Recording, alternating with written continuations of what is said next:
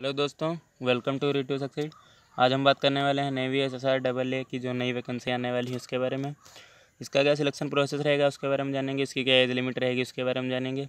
इसकी एलिजिबिलिटी क्या रहेगी, इसका सिलेबस क्या रहेगा, जो है सारा कुछ हम इस वीडियो में जानेंगे। वीडियो शुरू करने से पहले आपसे रिक्वेस्ट है, अगर आप हमारे चैनल पर नए हैं तो प्लीज़ चैनल को सब्सक्राइब कर लें। और आपको बता दें कि हमारे जो चैनल पे है हिस्ट्री और ज्योग्राफी की भी जो है घटना चक्र की सीरीज़ चल रही है तो आपने जो वो क्लासेस नहीं देखे हैं तो हमारे चैनल की प्लेलिस्ट में जाकर जो है देख सकते हैं। चलिए वीडियो स्टार्ट करते हैं। तो इसमें जो है सबसे पहले इसमें कितने स्टेज होते हैं उसके बारे में बात कर लेते हैं।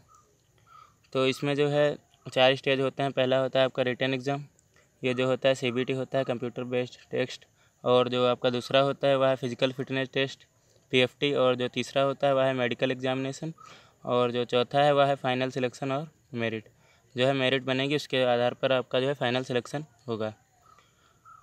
इसके आगे हम बात कर लेते हैं इसकी इंपॉर्टेंट डेट्स के बारे में। तो इसकी जो है ऑनलाइन स्टार्ट डेट है तो वो 26 अप्रैल 2021 से इसके जो है फॉर्म भरे जाएँगे और इसकी जो लास्ट डेट रहेगी, वो रहेगी 30 अप्रैल 2021 और जो है इसका एडमिट कार्ड जो है, वह 10 से 15 दिन में आ जाएगा।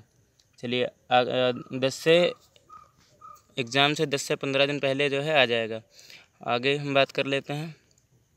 इसकी जो एग्ज़ाम डेट है, वह जब एडमिट कार्ड आ जाएगा, तभी बताई जाएगी। अभी इसका पहले से कोई एग्ज़ाम डेट नहीं दी गई है। चलिए, इसके आगे हम बात कर लेते हैं। इसके जो है नंबर ऑफ़ वैकेंसीज़ के बारे में तो इसमें जो है डबल ए की जो वैकेंसी हैं, वो पाँच सौ हैं।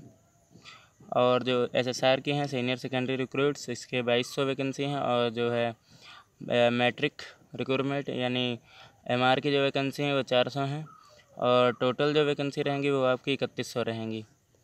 चलिए इसके आगे हम देख लेते हैं इसका जो है कैटेगरी वाइज जो है फ़ीस क्या पड़ेगी उसके बारे में। इसमें जो जनरल और ओबीसी वाले कैंडिडेट रहेंगे उसकी जो है दो सौ पंद्रह रुपये फ़ीस रहती है और जो एस सी एस टी के कैंडिडेट्स रहते हैं उनकी जो है फ़ीस नील रहती है, यानी आपकी जो है ज़ीरो फ़ीस पड़ती है। चलिए इसके आगे हम जो है देख लेते हैं एलिजिबिलिटी के बारे में। इसकी जो एलिजिबिलिटी रहेगी उसमें आपका only male candidates who are not married can apply for this exam यानी आपको जो है आप मेरिड नहीं होने चाहिए, आपकी शादी नहीं होनी चाहिए, आप जो है मेल कैंडिडेट्स अप्लाई कर सकते हैं। इसमें जो है फीमेल कैंडिडेट्स जो हैं वो नहीं अप्लाई कर सकती हैं। और जो डबल ए है डबल ए के लिए candidates who wish to apply for artificial apprentice artificial apprentice तो must have qualified ten plus two examination with sixty percent marks यानी आपके पास जो है ट्वेल्थ में सिक्सटी परसेंट मार्क्स से आप पास होने चाहिए और आपके पास maths and physics with at least one of the subjects chemistry bio biology computer chemistry science या फिर आपके पास फिजिक्स मैथ केमिस्ट्री होनी चाहिए या फिर आपके पास जो है बायो फिजिक्स और मैथ होनी चाहिए। तो आपका जो, इसमें से तीनों में से जो है आपके पास एक सब्जेक्ट होना चाहिए। चलिए इसके आगे देख लेते हैं एच के बारे में। तो इसमें जो आर का रहेगा, वह रहेगा, the candidates who wish to apply for artificial assistant और must have qualified and plus two examination और आपके पास जो एम आर का रहेगा, उसके लिए भी क्लास टेंथ ही। चाहिए। और एस एस आर के लिए भी आपके पास टेन प्लस टू होना चाहिए, इसके लिए कोई जो है रिक्वायर परसेंटेज नहीं है।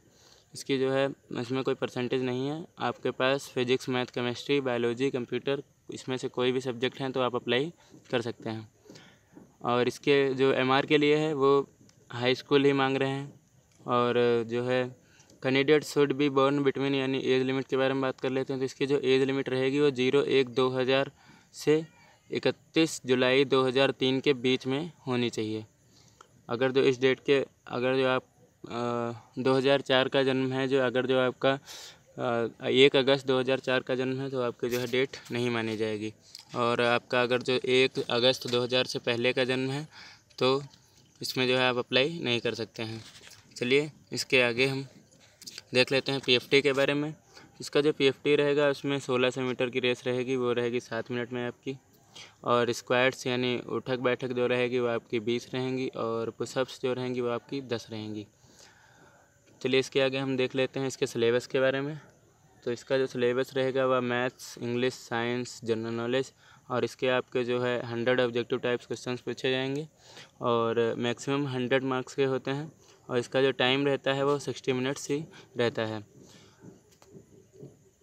थैंक्स फॉर वॉचिंग अगर आपको वीडियो अच्छी लगी हो तो लाइक करें कमेंट करें शेयर करें सब्सक्राइब करें। Thank you